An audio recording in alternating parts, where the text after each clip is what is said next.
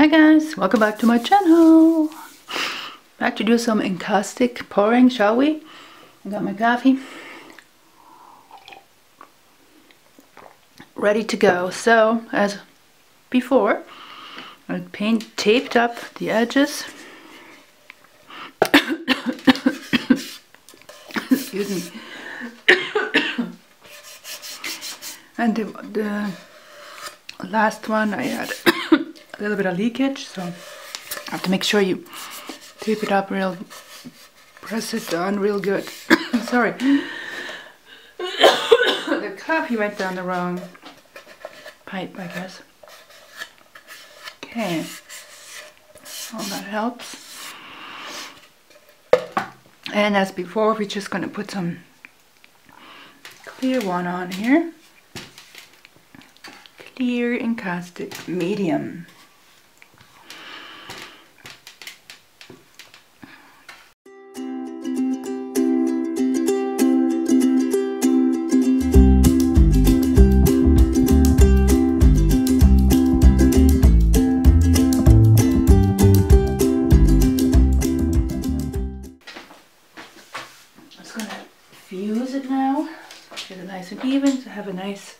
Surface to put the rest of the colors on.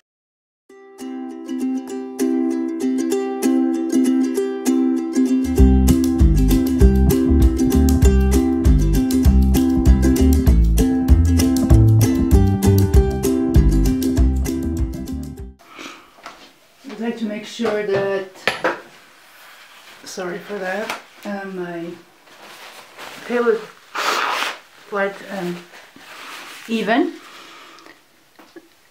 So make sure you try to make have it even. So I'll try today to use yellow and green, kind of the different colors. So what I was doing, I was just poured it on here. This one isn't quite all melted, but it's okay. Blob on here.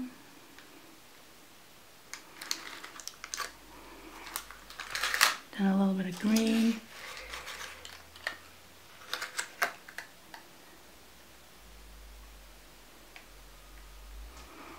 And I think I need more yellow and all green. Keep this piece out of here.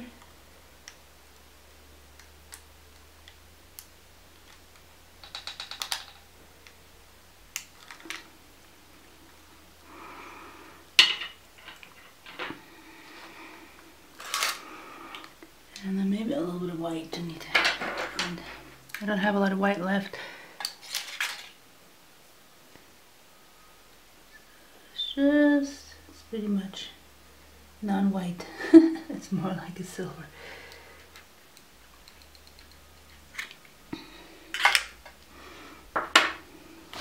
Oopsie. Keep banging my head on the camera. Sorry. I'll closer.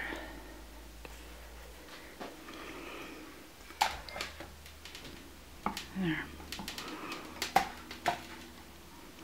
Okay, so need to heat it up and try to blow it out like a pour painting. It's not a lot of paint.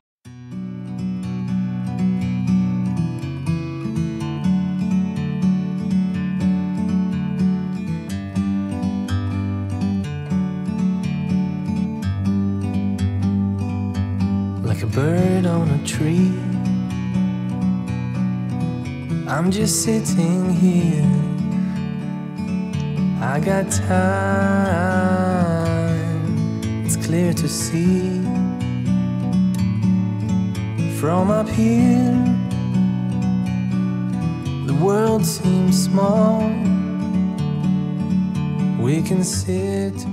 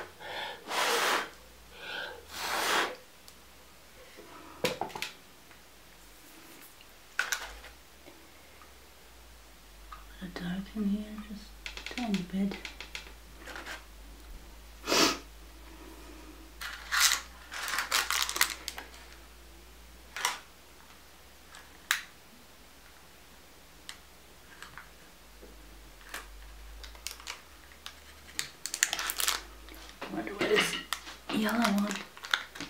Melt down all the way.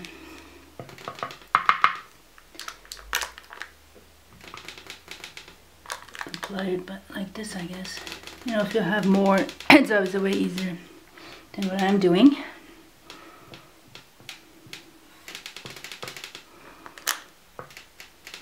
It just really cools down really fast because I just don't want to get it too hot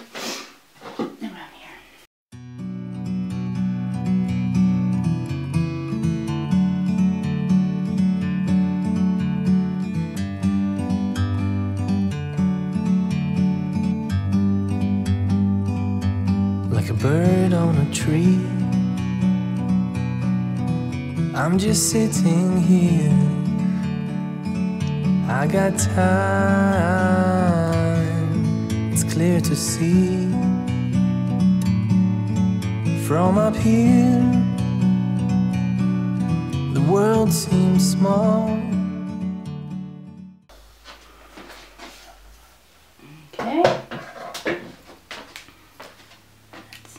Pretty to me.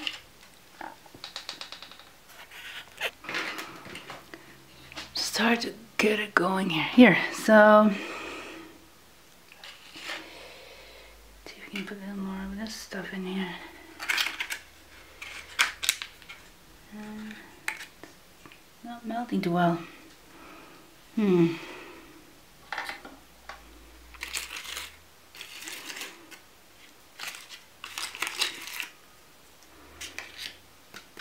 There you go. Whoops, now it's all over uh, other paintings.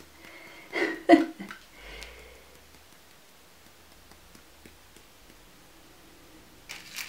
kind of gives it a little bit of like a cell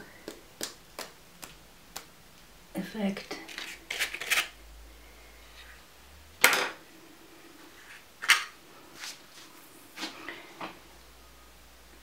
Should be okay. let's let's see what the torch does.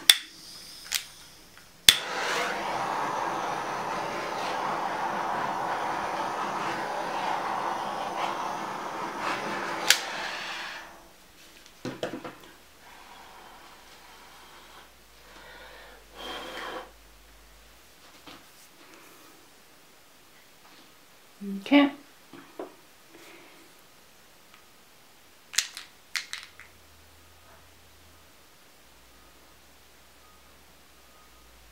Some inks.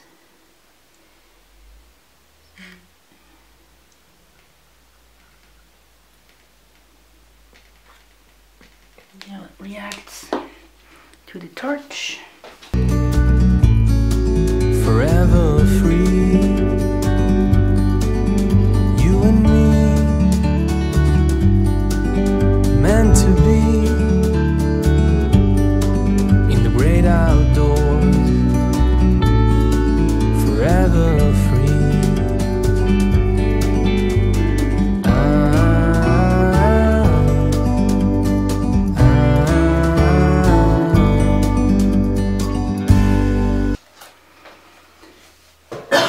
Problem with the ink is that there's always too much coming out. So, see what we can do with that. Some clear on there.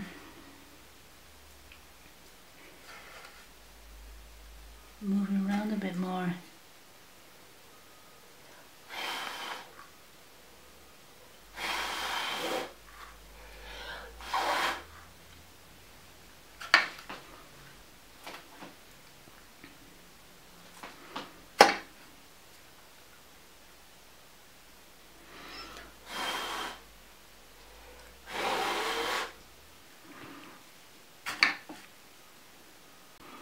Couple of drops of the darker ink.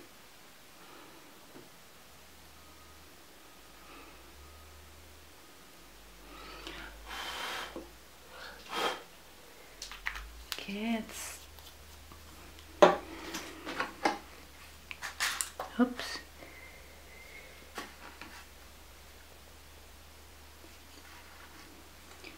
Ideal is to have actual little pans, which I need to, well, see, the dollar store, uh, the, the thrift shop has some old pans I can use, little ones too. Don't know if they got little ones,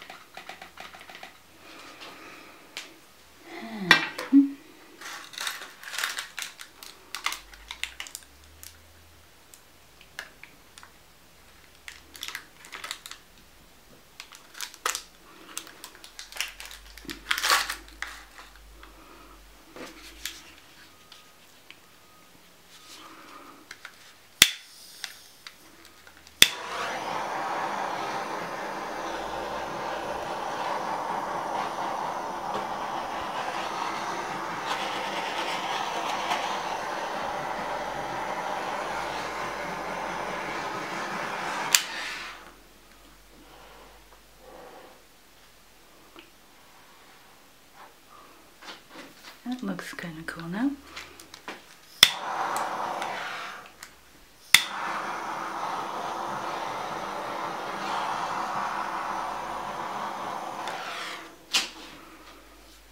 Hmm. Not bad, not bad.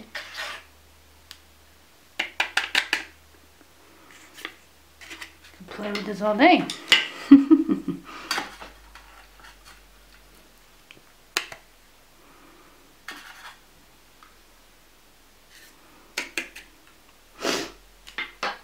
Which one is this? The dark one.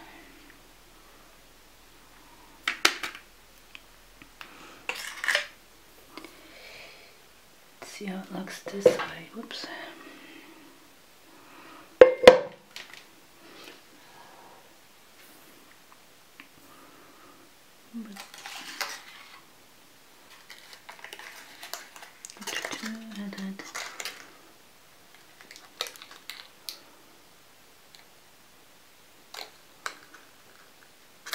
A couple of bald spots there.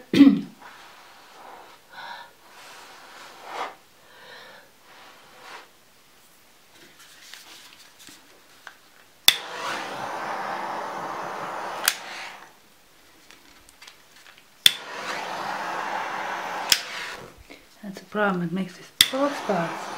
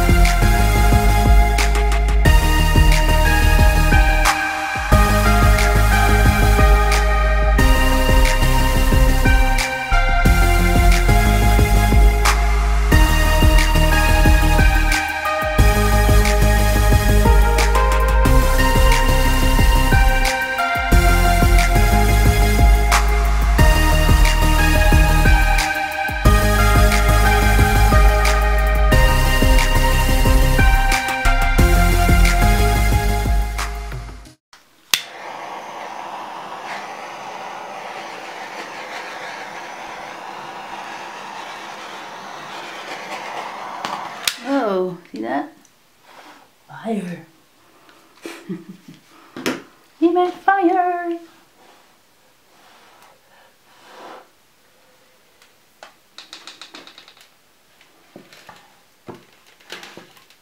I just don't like this.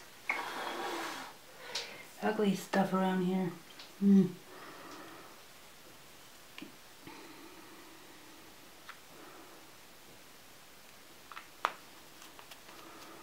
Should have left it how it was. This happens.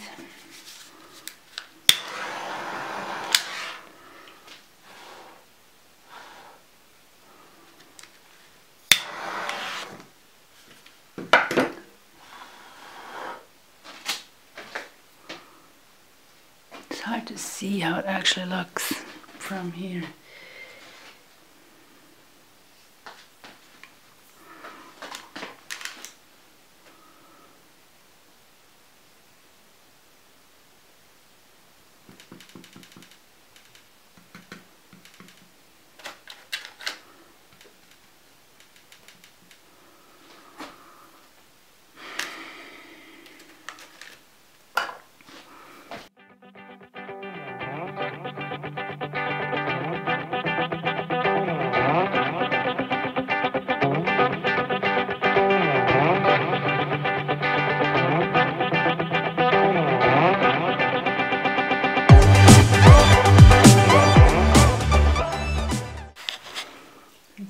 From close.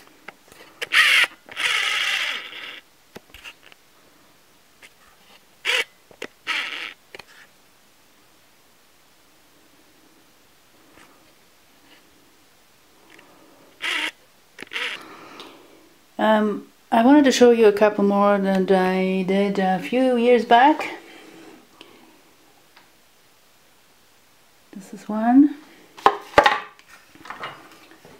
And this is on paper. It's hard to see, but anyway.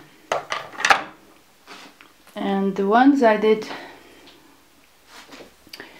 yesterday, that's the first one, I put some gold on it to give it a little shimmer.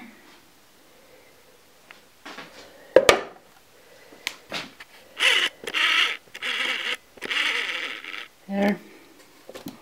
This one too. Gold. There you go. Okay, so thanks for watching. Hope you enjoyed this little encaustic workshop experiment. Make sure to subscribe, like, and share, and watch those other two videos so you can figure out how I kind of set up my encaustic workspace. Subscribe, like, and share. See you in the next one.